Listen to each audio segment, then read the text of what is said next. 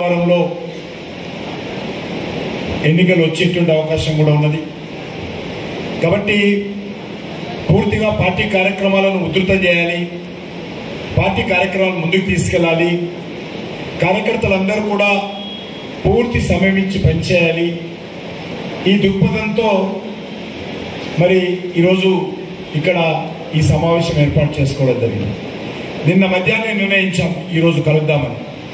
కానీ తక్కువ సమయంలో కూడా కార్యకర్తలందరూ మరి పెద్ద సంఖ్యలో రావడం. ఎందుకంటే మీకు తెలుసు ఈరోజు మనం ఒక సైనికులం. ఆర్మీ కూడా ఎప్పుడు ఎక్కడ పోమంటారో ముందు చెప్పరాల తెలియదు కూడా. కానీ ఒక పది నిమిషాల సమయంలో కూడా బ్యారెక్స్ నుంచి ఆర్మీలందరూ ఆర్మీకి సంబంధించినటువంటి వాళ్ళు బయటకు వచ్చి ఎక్కడికంటే అక్కడ వెళ్ళేటువంటి ఆర్మీ మనం చూస్తుంటాం. కానీ ఈరోజు ఆ ఆర్మీ తర్వాత దేశంలో ఇంకేదైనా ఆర్మీ ఉందంటే ఈ ఆర్మీ మాత్రమే.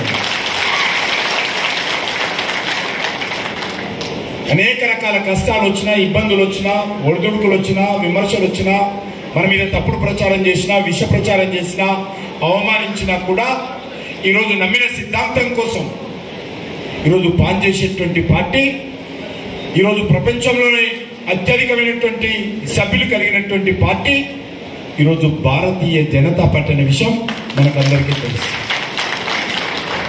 Are the single largest party మనకంటే ముందు చైనా కమ్యూనిస్ట్ పార్టీ పెద్దది ఉండేది. కానీ చైనా కమ్యూనిస్ట్ పార్టీ అంటే వాళ్ళ ఆదేశాలు ఇస్తే అందరూ మెంబర్షిప్ తీసుకుంటారు. అత్యధికమైనటువంటి మెంబర్షిప్ కలిగినటువంటి పార్టీ ఉండేది. కానీ ఈరోజు మోడీ గారి నాయకత్వంలో అమిత్ షా గారి నాయకత్వంలో పెద్దలు అరవింద్ గారు చెప్పినట్టు నాలుగోసారి బాధ్యత తీసుకొని రాష్ట్రం జరిగింది. నేను ఒక పర్యటన నిమిత్తమే